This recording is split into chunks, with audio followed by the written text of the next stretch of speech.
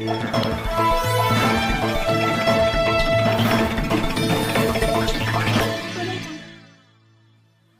penganiayaan terhadap istrinya kini berhasil ditangkap tim Reskrim Polres Banyuasin. Di hadapan polisi pelaku mengakui kalau dirinya melakukan hal tersebut dilatar belakangi cemburu karena menduga istrinya selingkuh dengan pria lain. Kapolres Banyuasin AKBP Imam Tarmuti didampingi Kasat Reskrim AKPM Ikang menjelaskan bahwa pelaku ditangkap berdasarkan laporan dari korban R yang berhasil melarikan diri dari tindakan keji suaminya.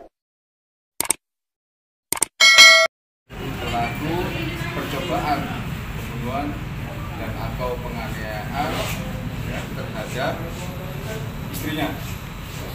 Terus kemudian juga ada senjata tajam juga. Modus daripada pelaku ini cemburu terhadap istrinya, sehingga dia melaksanakan eh, penganiayaan ini ataupun dia karena apa luapan daripada emosi yang sangat berlebihan ini akhirnya si korbannya istrinya ini. Nah ini rekan-rekan. Sangat ya, bisa dibilang sadis ya. Yang bersangkutan ini mungkin pertolongan Allah atau karena memang doanya dia sehingga dia bisa melepaskan diri dari suaminya kurang lebih seharian disekap oleh yang bersangkutan.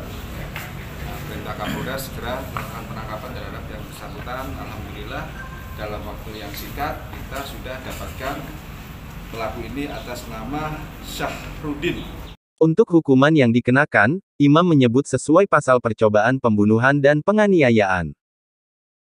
percobaan pembunuhan nah itu kan ada dari pihak dari ibu ini kan dari jeratan ini kan juga berusaha untuk menghabisi meninggal. Kalau itu ancamannya kan apa nih 15 tahun ya? 15 tahun.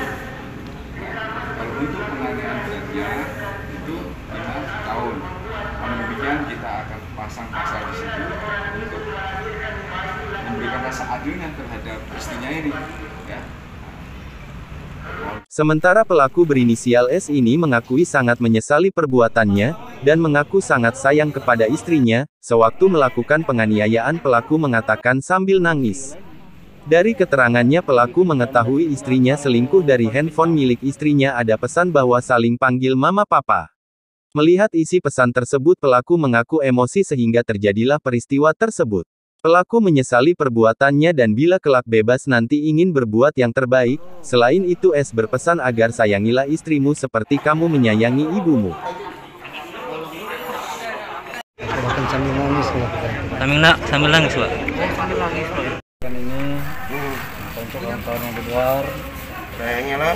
saya istri kalian seperti kalian ibu kalian sendiri